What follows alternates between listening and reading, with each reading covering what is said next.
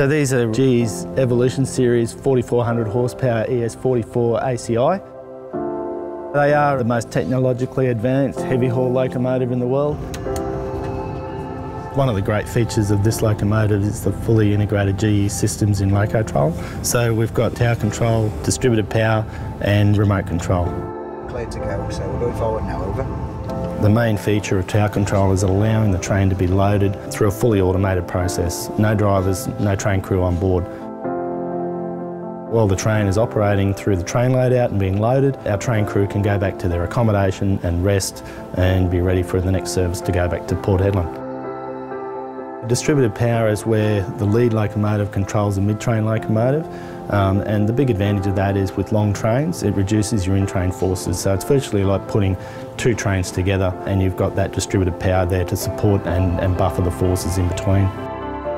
Now with the remote control when we have a defective ore car on route the driver can hop off, he can use his remote pack to bring the train forward past him, he doesn't have to move, he can then detach move forward, back it into the bad order siding, then detach the bad order and then reassemble the train without having to walk two and a half, you know, three or four, five kilometres.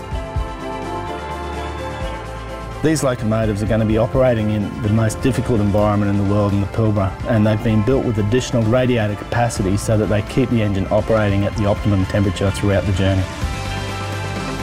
The features on this locomotive have been tried in different stages by different railways around Australia, but not all incorporated into the one vehicle.